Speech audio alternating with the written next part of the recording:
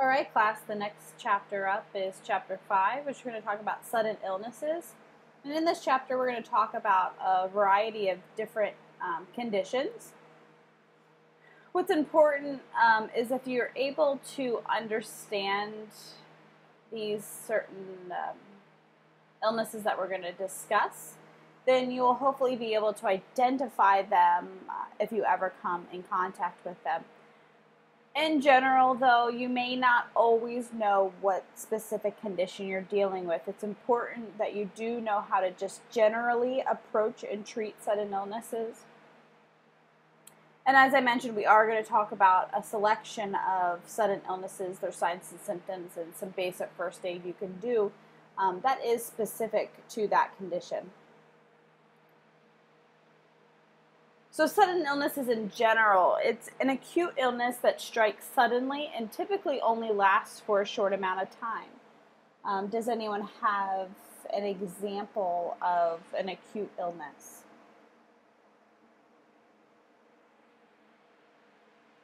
Chronic illnesses are conditions that someone uh, lives with and um, comes on and off over time.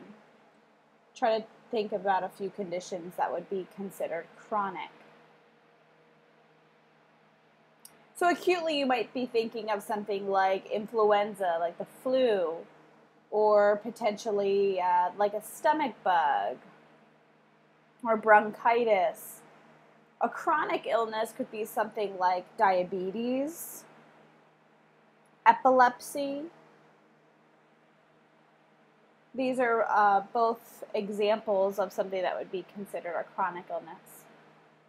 Some general signs and symptoms that someone is experiencing a sudden illness are uh, things such as trouble breathing, pain in the chest, head, or abdomen, changes in the person's level of consciousness, dizziness, um, GI symptoms, so things such as nausea, vomiting, diarrhea, stomach, abdominal cramping, fevers, changes in um, the skin, so pale or either flushed, hot or cold, uh, sweaty or dry, visual or speech problems, seizures, are numbness, weakness, and paralysis. Now, these are just a, a laundry list of sudden um, of signs and symptoms of sudden illnesses. There are more um, signs and symptoms than just these that are listed. Remember from chapter two um, how to interview and check a person, and this will help you better understand what's wrong with them. So, in general, how do you uh, handle a sudden illness? And we'll just use the example of you, you don't know exactly what's wrong with a person, but you are certain that there's something is wrong. If your initial check reveals anything that is considered life threatening, so any of those life threatening conditions or life threatening signs and symptoms, and we talked about this in chapter two, There was a whole list of reasons to call 911 then you should stop what you're doing um, and call 911 or have someone else call 911. You can next provide uh, the appropriate care based off of the signs and symptoms and the level of your training. As mentioned previously, the general guidelines you should follow whenever you're handling or caring for someone. Um, you should do no further harm. Monitor the person's breathing and consciousness level help the person rest in a comfortable position, reassure them, and provide the care that is appropriate for that emergency and never go above your training level.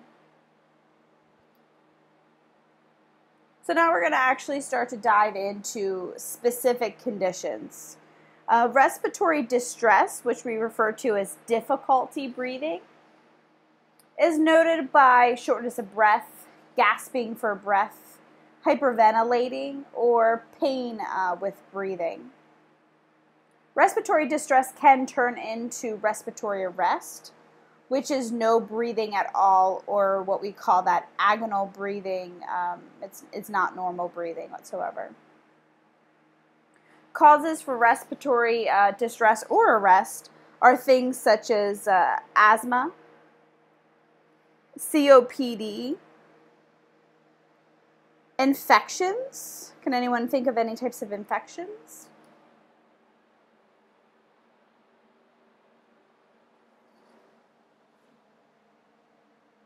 So you might be thinking of things like bronchitis, allergic reactions, heart conditions, trauma, so being hit in the chest or being hit in the abdomen, poisoning, an overdose, being electrocuted, or mental health conditions such as, uh, for example, if someone has anxiety, they might have an anxiety attack.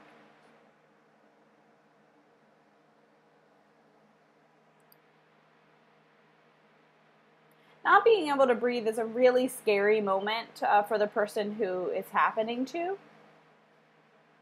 And because they're scared, the breathing has become, become even more difficult.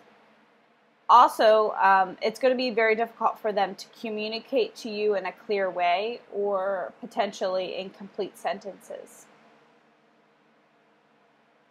Some signs and symptoms of respiratory distress are uh, noises such as wheezing, gurgling, or high pitched sounds, unusually slow or fast breathing, unusually deep or shallow or irregular breathing moist, pale, blue, or flesh skin, and um, dizzy or lightheadedness. So, how do we handle respiratory distress uh, situations? It's really important to act quickly when someone is having uh, difficulty breathing because these conditions can quickly develop into something more serious. Um, as in, they could uh, go into respiratory arrest, uh, they could stop breathing altogether which could then ultimately lead to uh, cardiac arrest. If someone's having trouble breathing, call 911 or have someone else call 911 and provide the appropriate care until help arrives.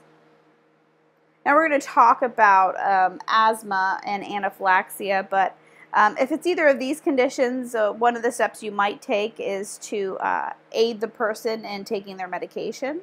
We're going to talk about this more specifically. Something else you can do is have the person sit down and remain calm. Try to gather more information if they are responsive, um, and, and try to do so by just asking yes or no questions. Since they are having trouble breathing, it's going to be difficult for them to get full um, sentence answers out to you. Or yes or no answers can um, just allow it so that they can head, uh, shake their head yes or no. Also, be prepared to administer CPR and the use of an AED if the person becomes unresponsive. So asthma, asthma is results in uh, respiratory distress oftentimes, and it can uh, result in respiratory um, arrest Asthma is a chronic condition in which um, you have inflammation creating a narrowing of the airway. Now we could go into even more of the science behind it, but for this class, you just need to understand that it will cause inflammation and narrowing of the airway, and whenever we have narrowing in the airway, breathing is going to become difficult. Now, um, asthma can be triggered, uh, asthma attacks can be triggered by things, causing uh, what we refer to as an asthma attack or an as- asthma episode. Common triggers um, include, can anyone think of, is if anyone has asthma or knows someone that has asthma, they might know what might trigger an asthma attack. Common things are people have what's called sports induced asthma, so exercise. Especially exercise in uh, temperature changes, uh, like really cold air and really hot air. Allergies, uh, to maybe pollens, animal dander. Sometimes perfumes can cause someone to trigger an asthma attack. Being sick, so maybe having a respiratory infection. Stress and anxiety could also uh, trigger an asthma attack.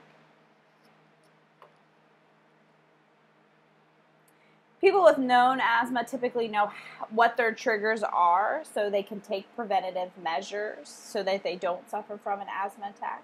But people who don't know they have asthma, it, sometimes it takes a little while to de- uh, determine to define what their triggers are. Also, people with diagnosed asthma uh, may have been prescribed medications some cases, people are prescribed long term medications that are taken uh, regularly, and this medica- these medications help to prevent attacks by overall uh, reducing inflammation and swelling. Quick relief medications, things that people most commonly think of as the little red um, inhaler these are medications that people use when they are acutely having an asthma attack. Sometimes they're also prescribed um, for people to take right before they're going to um, maybe participate or come into contact with a trigger. So, for an example, an athlete may be told by their physician to take their quick relief medication um, just prior to exercise.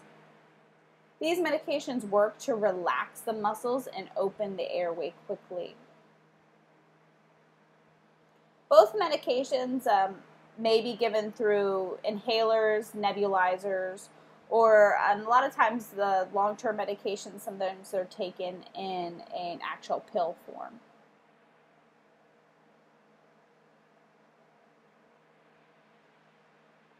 Box uh, 5-1 will show you uh, asthma inhalers and nebulizers and how they're um, administered.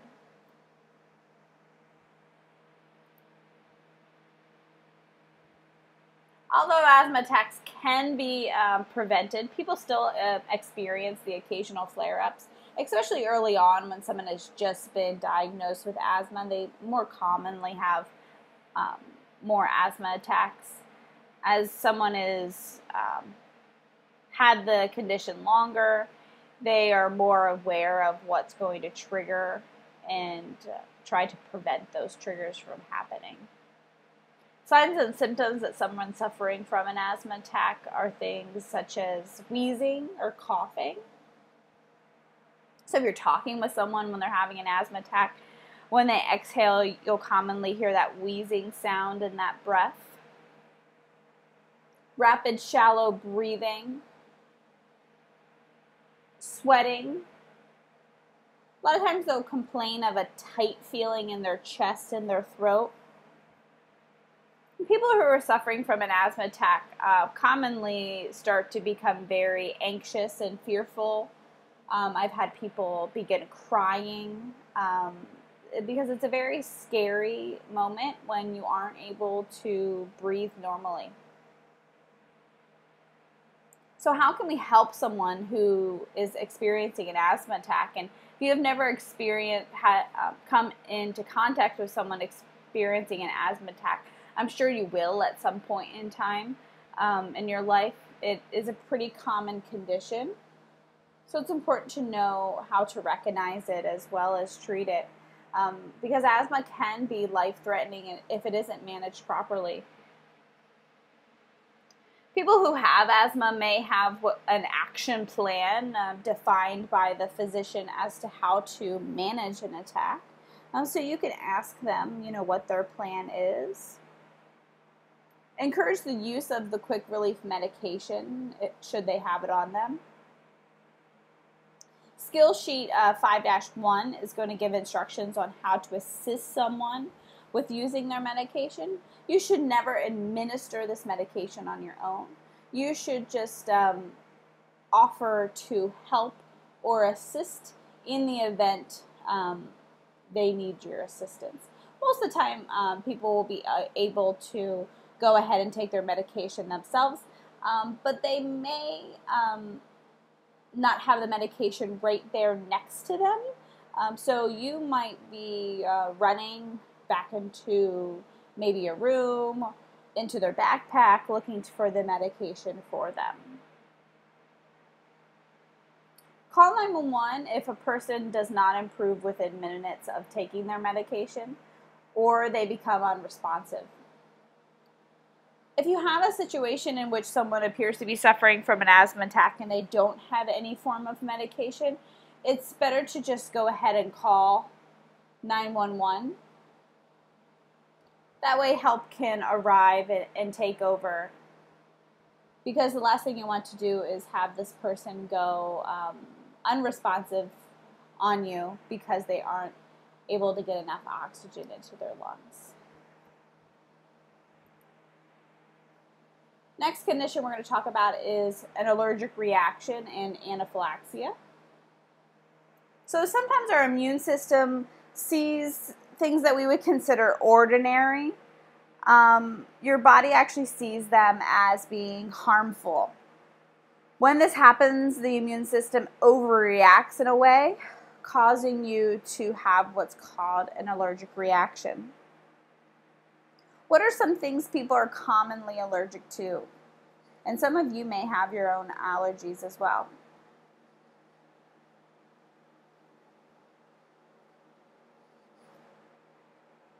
So some things that come to mind um, are animal and pet dander.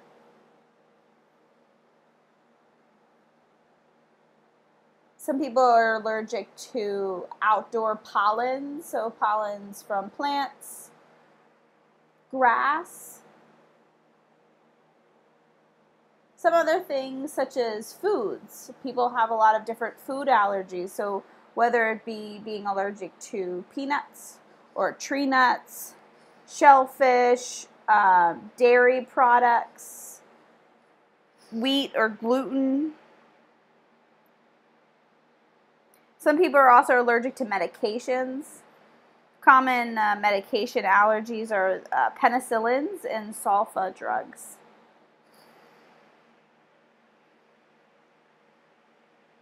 Someone who is having a mild to moderate reaction um, may just experience mild symptoms. So things such as a skin rash or itchy skin, they may become a little stuffy, a stuffy nose, maybe watery eyes, reddening eyes.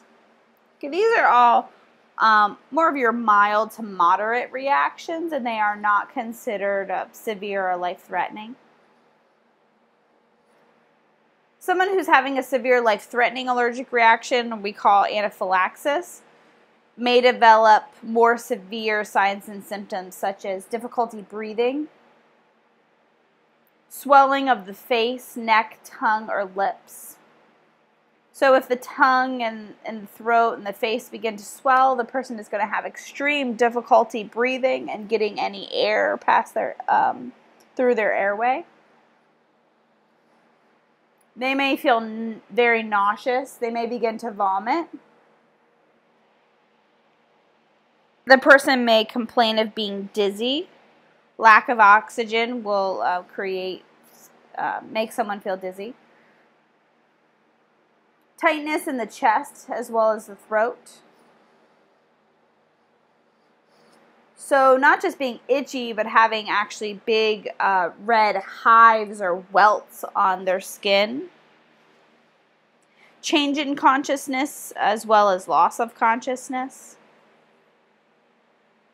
and any symptoms of shock, and we will be talking about shock in a few chapters from now. Um, but some si- symptoms of shock are excessive thirst, moist, pale skin, and a rapid, weak heartbeat, as well as an altered level of consciousness. If you refer to table 5 1, it's referring to how do you know if it's an anaphylactic reaction. So it gives you a few examples, what you're looking for.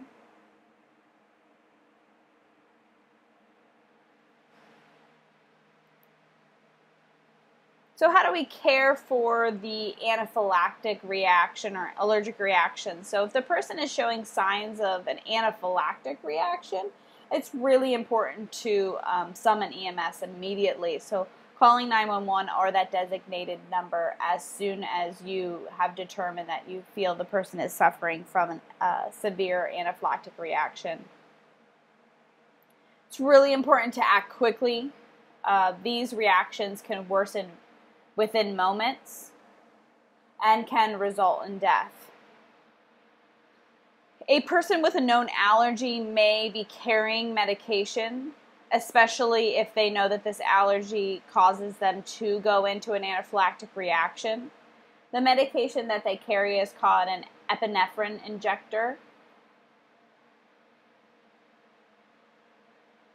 You may have to offer to help administer the medication um, if the person does have medication and you are in the middle of helping and there's no one else around to call, you should um, help them administer this medication prior to calling 911.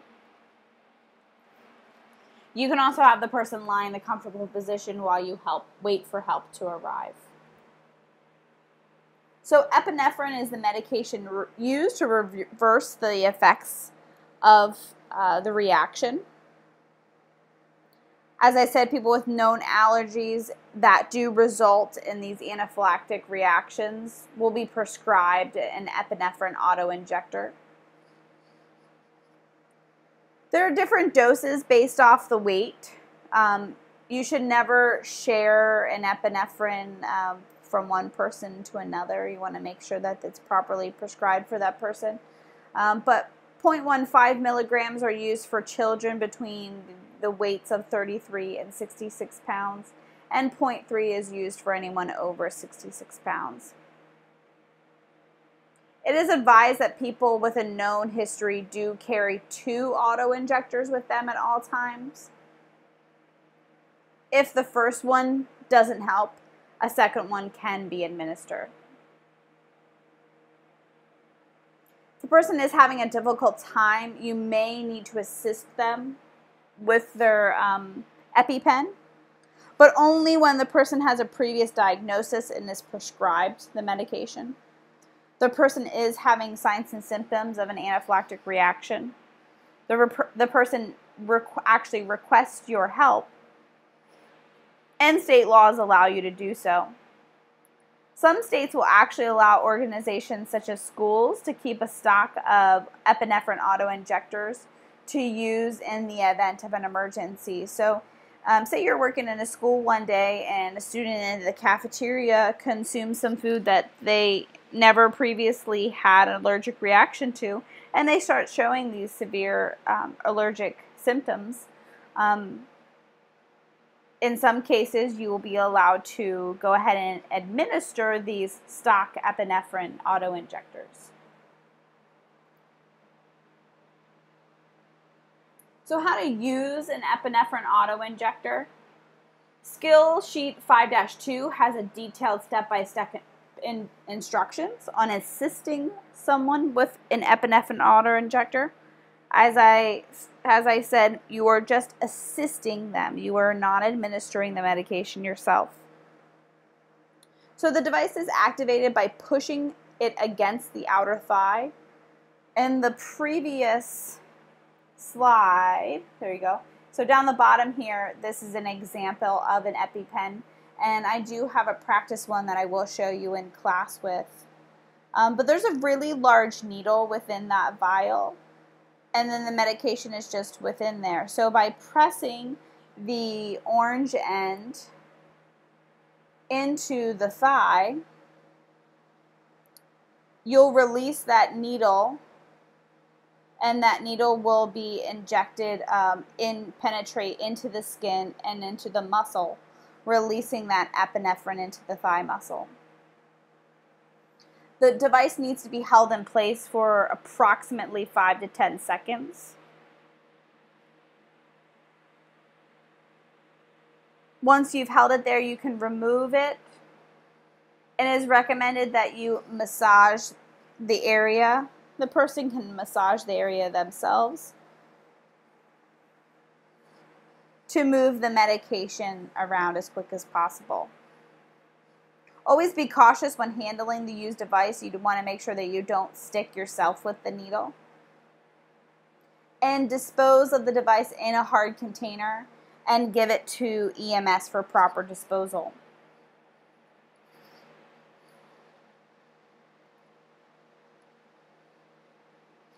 Now, there are also medications referred to as antihistamines. A lot of people have heard of Benadryl. Benadryl is an example of an antihistamine. A healthcare provider may also suggest a person with an allergy carry antihistamines with them in, addition to epinephrine. Antihistamines are medications that counteract a chemical in the body called histamine, so antihistamine, which is released during allergic reaction. Antihistamines are over the counter medications and can be found in pill, capsule, or liquid forms. And antihistamines should be used according to the medication level. Now, you can use antihistamines for your more mild to moderate allergic reactions as well. So, if you um, are suffering from an allergy to, we'll say, pet dander, and you're getting really those itchy, scratchy eyes, sneezy um, symptoms, if you take um, a medication such as Benadryl or any type of antihistamine, it will help to minimize those symptoms. Next condition we're going to discuss are diabetic emergencies. Now, diabetes is a chronic condition in which the body is unable to process glucose sugar, uh, glucose, which is sugar, in the bloodstream. There are um, two types of diabetes, type 1 and type 2. The pancreas um, is an organ in the body that secretes insulin, and insulin is actually a hormone that controls the your blood glucose levels. So when a person has diabetes, their pancreas is either um, failing to make enough insulin or it's unable to respond to insulin. So either it really doesn't make insulin at all or it doesn't know how to control how much insulin is um, released. People with diabetes may manage the condition with an insulin injection or they may be um, controlling it with an oral medication, or in some cases, both. Food intake, exercise, and medications can help keep a diabetic well balanced. And people with diabetes should follow a strict diet, limiting their sweets, carbs, fats, and also the timing of their meals is really important. If a person um, is not well balanced, they might experience um, diabetic emergencies such as hypoglycemia or hyperglycemia. Hypoglycemia is when there is too uh, low of blood glucose levels, and hyperglycemia is high blood glu- uh, glucose levels. Now, you don't have to have diabetes to experience these hypoglycemia are hyperglycemia um, attacks. Now, we'll say you have um, my class at 8 a.m. and you failed to have anything to eat before you came to class and you were running the class and, and you're already tired. And then you sit through my class for, we'll say you're 45 minutes in. You might be starting to experience some hypoglycemia because you haven't had anything to eat and your blood glucose levels are going to become low. Hypoglycemia can be caused by missing meals or just simply not eating enough.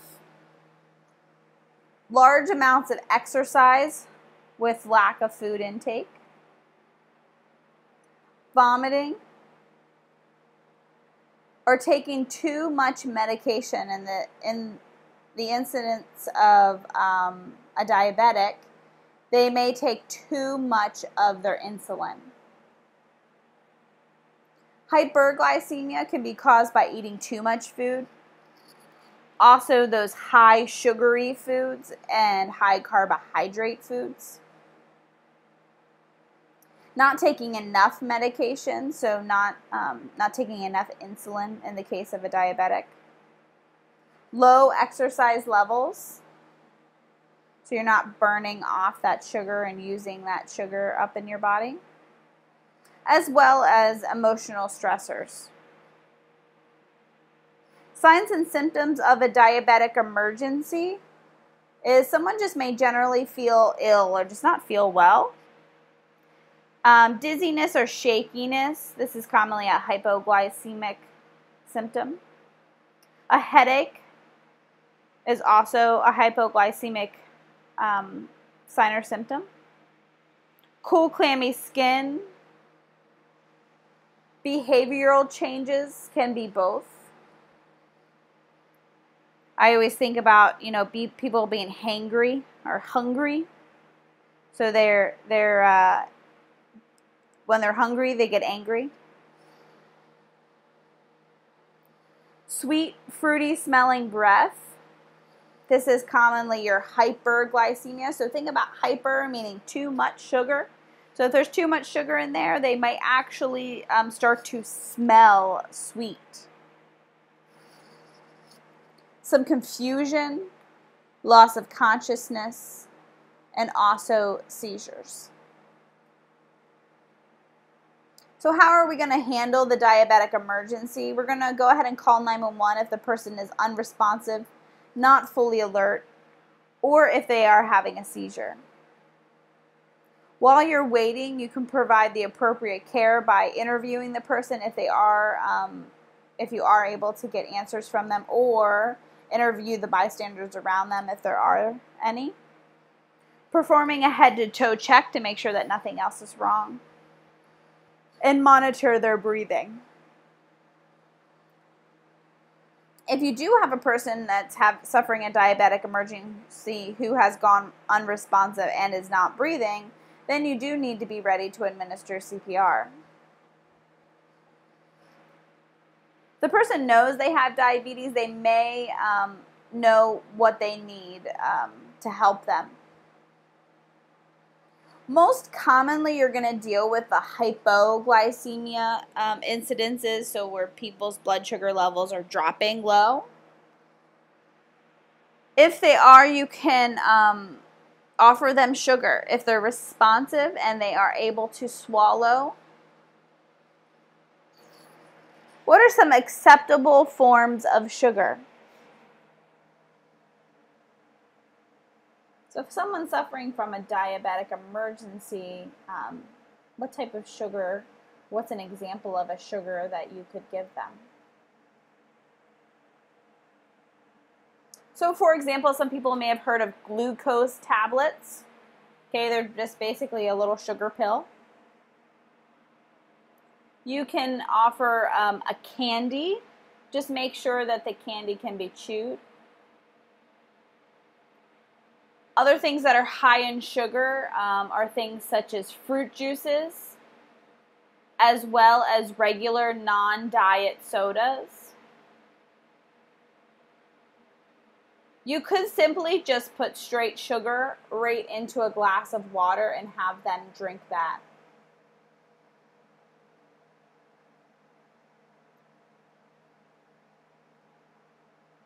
really what you want to do is you want to make sure that the sugar you're giving them is going to break down quickly.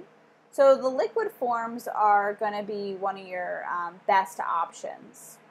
The glucose tablets do dissolve very quickly, so they are a good option too. But anything that someone really has to process, um, do a lot of chewing, shouldn't be your first option if you do have a liquid form or a glucose tablet. If someone is a known diabetic, they could go ahead and check their blood glucose levels. They may need to administer their own insulin or medication, especially if their blood glucose levels are high. If you are dealing with a person who is responsive and alert, um, but they just don't feel better within about 10 to 15 minutes of administering their sugar or their um, or administering insulin, you should go ahead and call 911.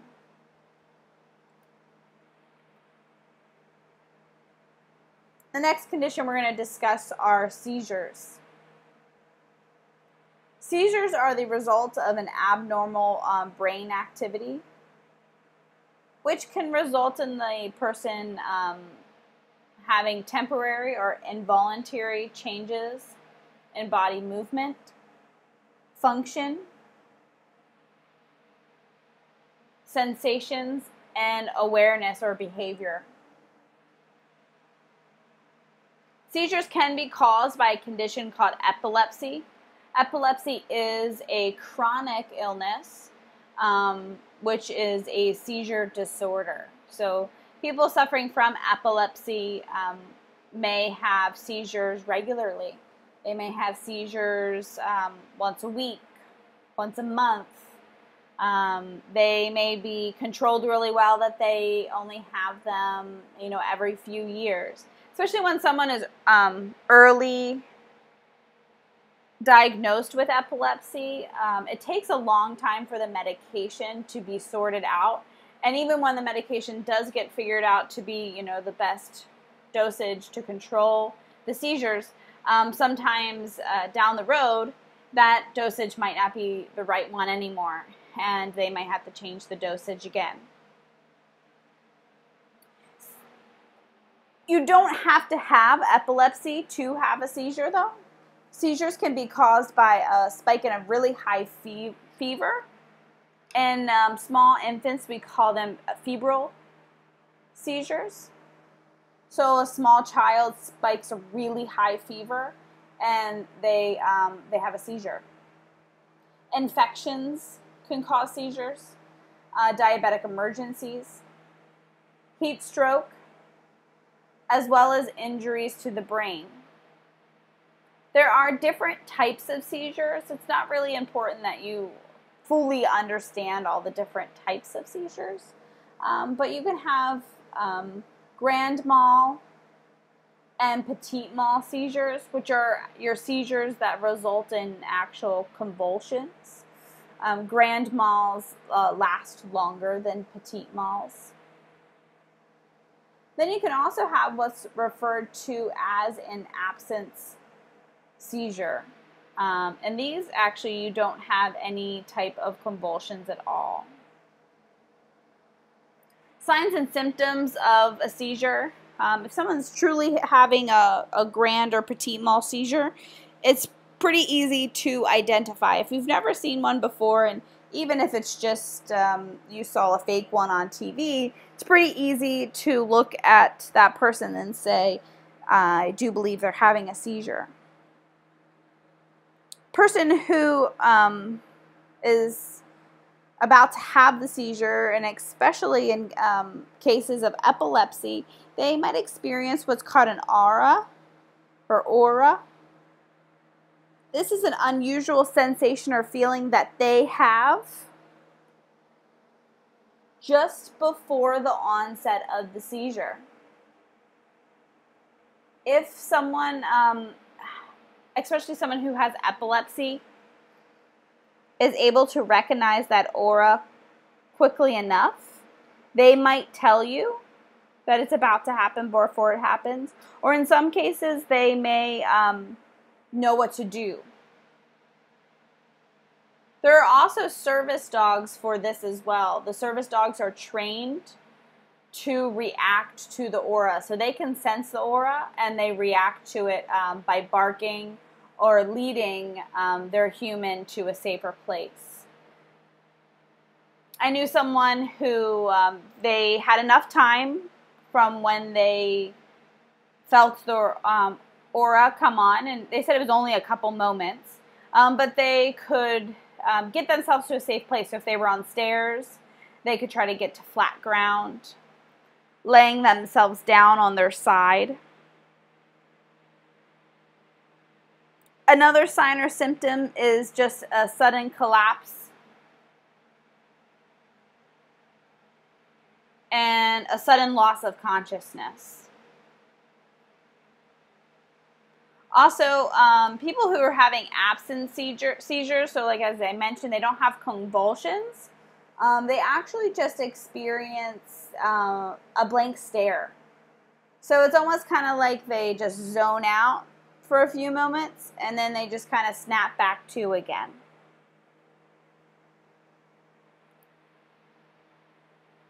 So, how are we going to care for and handle um, a seizure situation? Most seizures only will last a few moments. And while they are um, very scary and traumatizing, they are relatively easy to handle. If a person has a known um, seizure condition, such as epilepsy, it's not always going to be necessary that you call 911 every single time.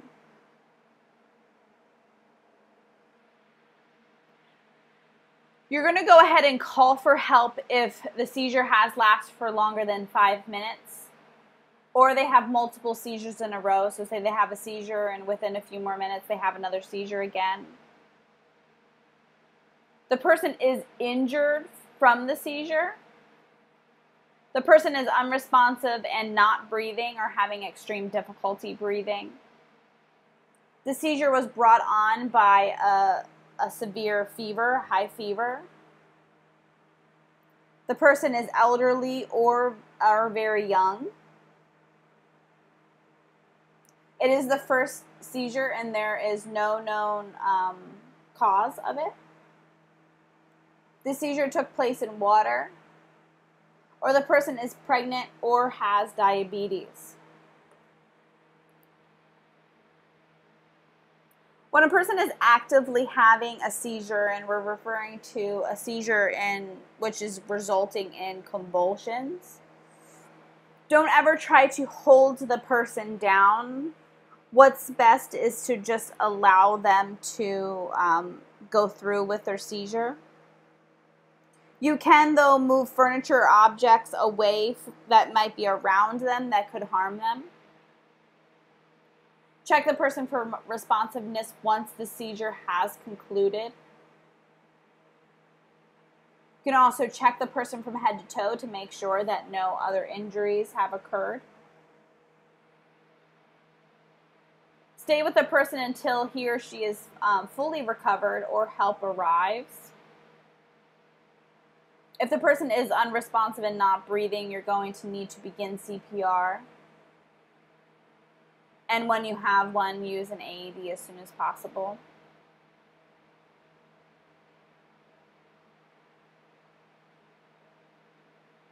Our little fact and fiction for you. Should you place something like a bite stick in someone's mouth during a seizure?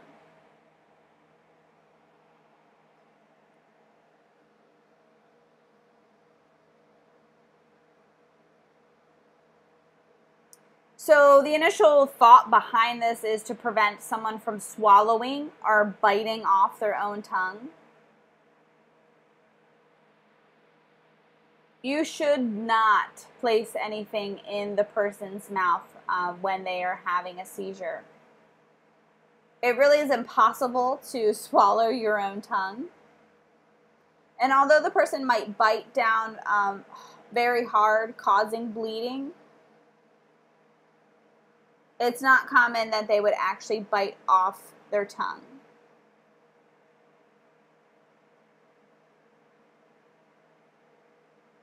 The person might actually bite down so hard um, that they do uh, bite the bite stick in half and then begin to choke on it. So you should never stick anything in a person who is suffering from a seizure. Uh, you should never stick anything in their mouth, especially your own fingers.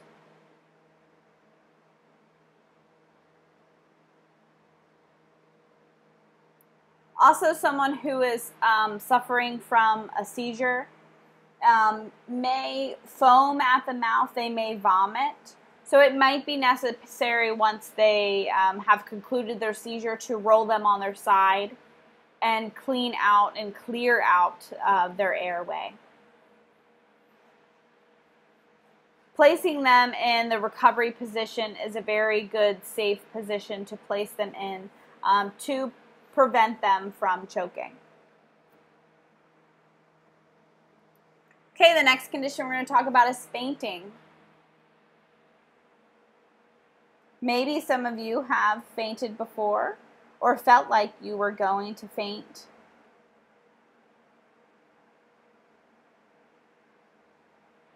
Fainting is just simply when someone suddenly loses consciousness and then regains um, consciousness quickly within within moments. Fainting is caused uh, by a sudden decrease in blood flow to the brain. And typically, the cause of, of a fainting incident is not a serious um, condition. Can anyone think of any common causes of fainting?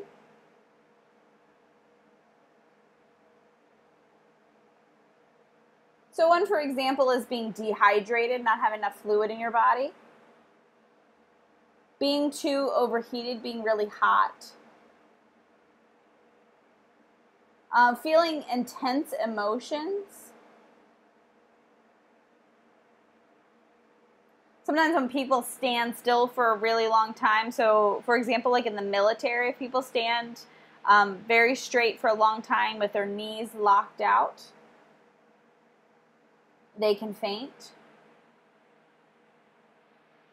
The great thing is, as soon as someone faints and falls over, their head is now um, in the same level of their heart and everything.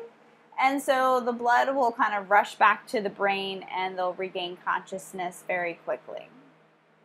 Signs and symptoms are initially, before the person actually faints, they may uh, appear very pale, very sweaty. They may feel weak or dizzy. And they also might just have that overwhelming feeling that they're about to faint.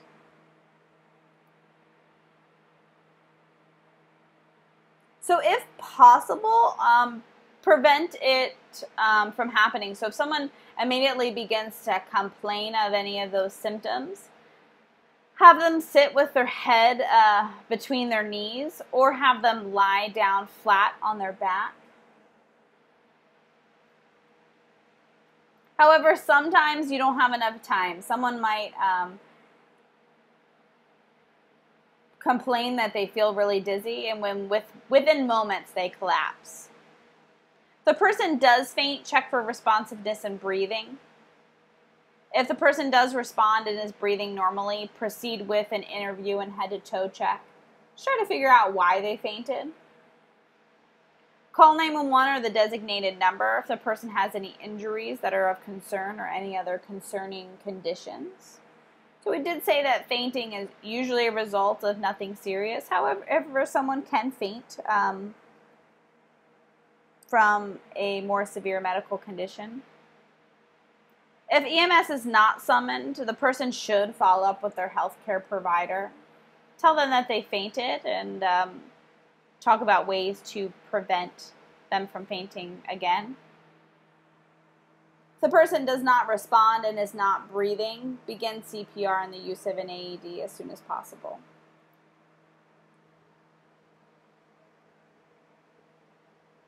And I do believe this is the last condition. The last condition we're going to talk about is a stroke.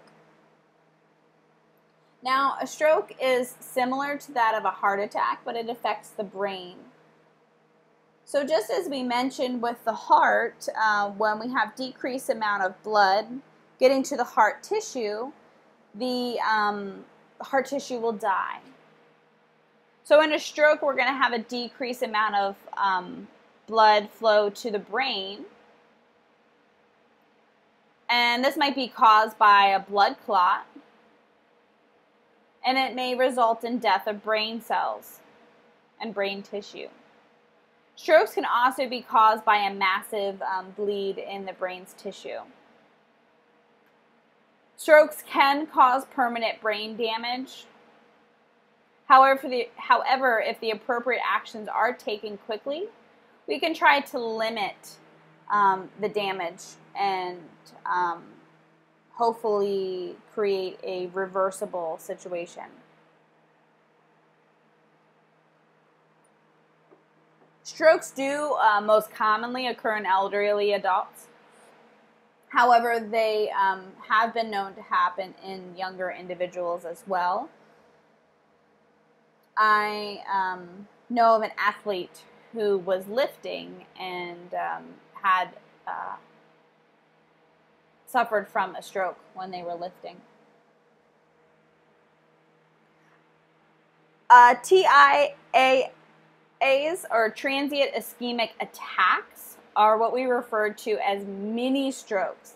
So remember we talked about mini heart attacks? Well, you can also have a mini stroke. They can manifest uh, many of the same symptoms as a stroke, but they do go away.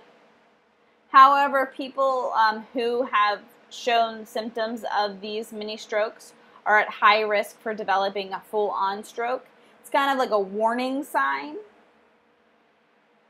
and half of them will result within a uh, result in a full stroke within 48 hours. So it's really important to um, handle transient ischemic attacks or mini strokes um, just as you would a regular stroke. Signs and symptoms are trouble with speech and slurring of words, drooling or difficulty swallowing, trouble seeing, weakness, paralysis or numbness of the face, arms, legs. And a lot of these symptoms are going to be one sided uh, because if the damage occurs to one side of the brain, um, so the left side of the brain, for example, you'll actually see these um, symptoms and signs in the right side of the body. A very sudden, severe headache, loss of balance, confusion, and loss of consciousness. The fast check is a quick way to check for signs and symptoms of a stroke, and you can see this in figure 5-1.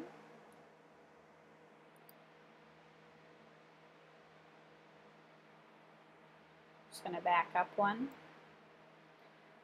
So with FAST, um, F stands for face, so ask the person to smile, and if there's weakness or drooping of one side of their face, this is a sign of a stroke.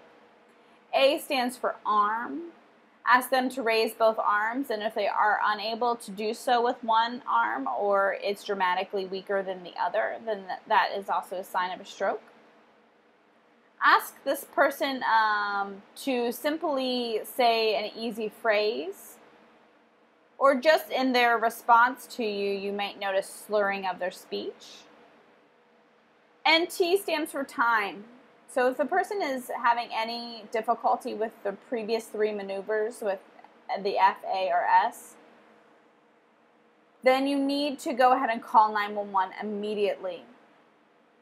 It's very vital um, in, in a stroke, just as it is with a heart attack, to get more advanced help there as quick as possible because these people are going to need um, higher level of um, trained professionals and medical professionals to diagnose and um, treat the condition. So make sure that you know FAST, why we use it, and what it stands for. So, how do we care for someone who's suffering from a stroke? If you feel like someone is having a stroke or had a stroke, you need to call 911 or the designated number immediately. If you can, take note to the length of time the symptoms were occurring. It's important to relay this information to EMS.